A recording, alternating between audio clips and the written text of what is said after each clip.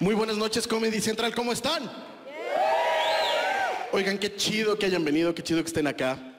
Y bueno, mi nombre es Francisco Espinosa y toda mi vida, toda mi vida me han dicho Paquito. Y me cagan los diminutivos.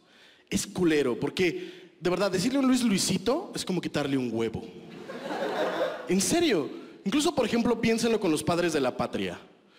Piensen en Francisco y Madero, ¿no? El padre de nuestra revolución. Escuchan el nombre y piensan en un nombre viril, cabal. ¿Se imaginan caminando por una calle que fuera Paquito y Madero? No, ¿quién iba a respetar esa pinche calle? Eso hacen los diminutivos, quitan huevos, ¿no? Es como cuando te piscaban los cachetes y te decían así de... ¿Qué pedo, mamá? Yo tengo 38, ella es mamá.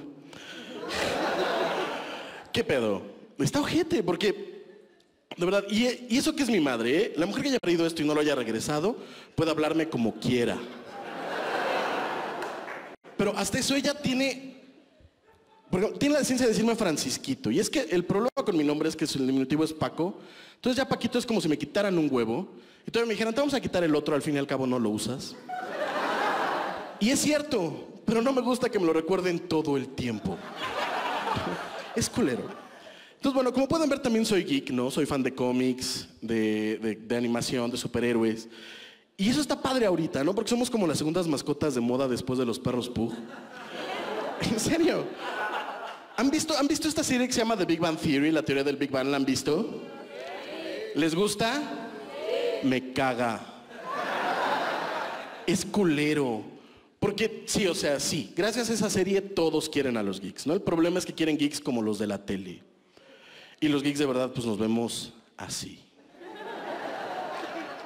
Y es bien injusto porque ellos son actores, la mitad de su chamba es ser bonitos. Yo tengo suerte los días que amanezco y no doy asco. Hoy no, no tuve mucha suerte.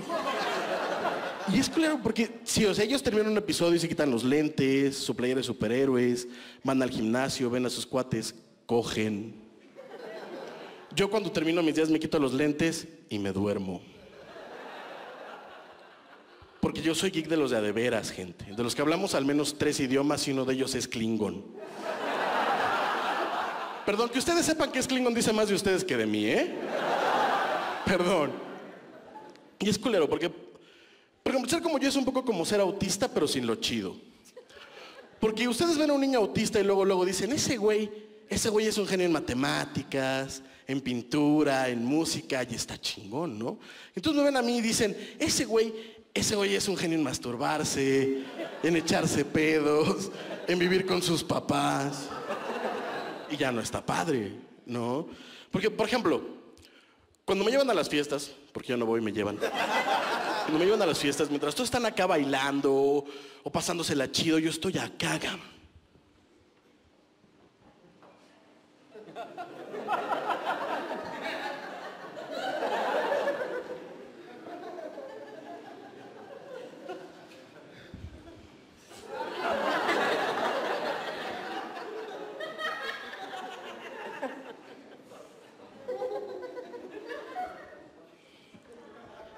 Ese güey soy yo. El que en sus fiestas está en, su- un rincón con cara de psicópata soy yo. Y no es chingón, ¿no? Y no falta que llegue el güey que me llevó a la fiesta y me pregunta, ¿verdad que está bien buena la fiesta, carnal? ¿Cómo le explico yo a este pobre güey que en mi experiencia sacar piedras del riñón es más cómodo que eso? ¿No? Porque además yo soy de esos ñoños que no salimos a la calle porque es incómodo y doloroso para todos. No está chido. Y bueno, tengo 38 años y ya estoy como a dos pasos de los 40. ¿no? Y mucha gente cree que ahorita me estoy dedicando a hacer comedia porque es como mi midlife crisis, ¿no? Mi crisis de media vida. Y no es cierto, si tomamos en cuenta mis hábitos y mi alimentación, mi de vida fue hace como 18 años. Entonces no va por ahí. Pero cuando tienes 38 y estás a punto de los 40, estás a punto de descubrir cosas nuevas. ¿No? Por ejemplo, eso que dice la gente de que la vida empieza a los 40. Y vamos a ser sinceros, cuando uno de 45 viene y te dice eso, pues ¿qué le vas a creer, no? Es como cuando alguien como yo te dice que choro mata carita. ¿Sabes que es algo que se dice al espejo para no matarse, no? Pero lo que me preocupa de verdad es, ¿y si es cierto? ¿Qué voy a hacer con 39 años de coleccionar cómics? ¿Qué va a pasar con eso? No está chingón, ¿no? Y otra cosa que, por ejemplo, piensas a los 38 es, en las últimas semanas, no sé si supieron, la Suprema Corte de Justicia de México y de Estados Unidos declaró legal el matrimonio homosexual. Y eso está bien chingón, gente. Yo por eso digo que ahora los heterosexuales tenemos que movilizarnos para que declaren ilegal el matrimonio heterosexual. A veces sí dejan de chingarme todo el tiempo para ver cuándo me caso. ¿Por qué no está chido? Muchas gracias. De verdad, no pasa una semana sin que me pregunten, no, no, ¿cuándo te casas? No? ¿No piensas tener hijos? Y pues sí, de pronto sí lo pienso, ¿no? Un pequeño yo, por ahí corriendo, estaría chingón. Hasta que de pronto me acuerdo que los hijos son lo contrario de los papás. ¿Y qué pasa si a este güey le gustan los deportes? ¿Qué pasa si un día llega y me dice con su carita de ilusión, papá, papá, ¿me enseñas a jugar béisbol? ¿Cómo le explico que su papá no puede caminar y botar un balón al mismo tiempo?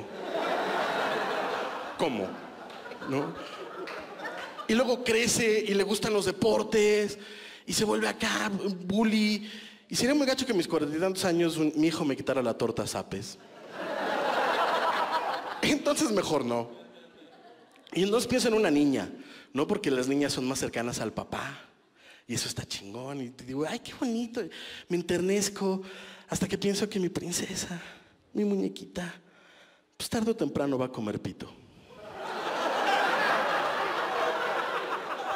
Y no tiene nada de malo, ¿eh? De verdad, es algo natural. El problema es la cantidad. ¿No? Dos, tres a lo largo de su vida. Pues bueno, va pero al mismo tiempo ya no está tan chingón, ¿no? Porque además mi única relación real constante es con mi porno.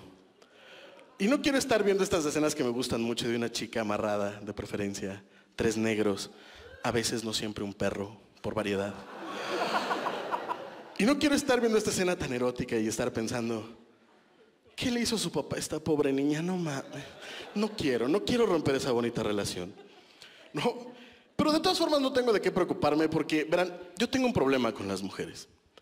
Todas las mujeres que conozco, todas las que no se dan la vuelta y se van, todas, cinco minutos de hablar conmigo, ¡pum! Frenzoneado, güey. Y a mí me da mucha risa como ustedes ponen en redes sociales, estoy instalado en la friendzone, güey. No, gente, no. Ustedes no conocen la friendzone. Ustedes apenas llegan. Yo vivo ahí. Yo tengo las llaves. Las escrituras de la friendzone están a mi nombre. Y no es chingón. De hecho, chicas, en serio, si quieren mandar a alguien pronto, avísenme primero. Tengo que acomodarlos, ya somos muchos. Es culero. Porque entonces termino siendo el amigo de todas las mujeres que me gustan y ni siquiera ese amigo chido que le hablas de vez en cuando para ir al cine o algo. Soy ese güey que está chido saber que está ahí que tienes en Facebook para que le ponga like a todo lo que tú publicas, pero tú nunca ves lo que él pone.